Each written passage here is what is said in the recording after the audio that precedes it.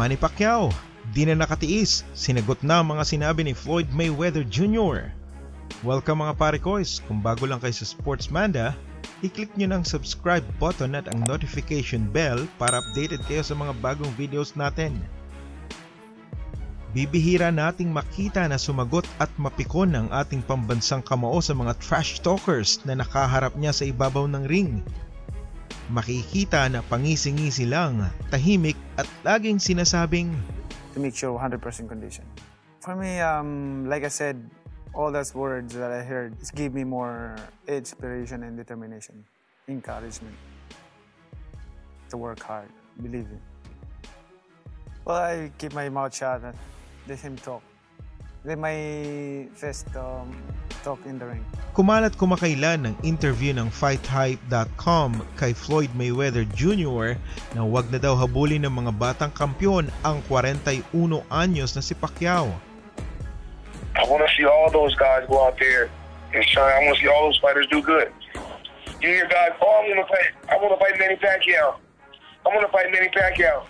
Manny Pacquiao, like 41 now. Don't chase him. Stop fighting. Stop chasing this this this old man. Simple lang ang sinagot ni Manny sa phone interview ng The Manila Times. Nainggit lang daw itong sa Mayweather dahil retired na siya samantalang si Manny ay aktibo at may corona pa. Sa iba pang mga bulalas ni Mayweather, mukhang wala namang paki itong si Pacquiao at sinabing hindi pa daw niya iniisip ang mga sinabi ni Floyd. Mas importante daw ngayon ay kung paano mare-resolve ang pandemic sa ating bansa. Maayos din daw ang kanyang kondisyon at wala pa sa kanyang diksyonaryo ang salitang pagre-retiro. Ito marahil ang malaking kaibahan ni Pacquiao kay Mayweather. Kahit wala pa man sa politika ang ating people's champ, totoo na ang kanyang pagtulong sa mga tao. Ano pa sa tingin nyo ang malaking pagkakaiba ng dalawang boksingero?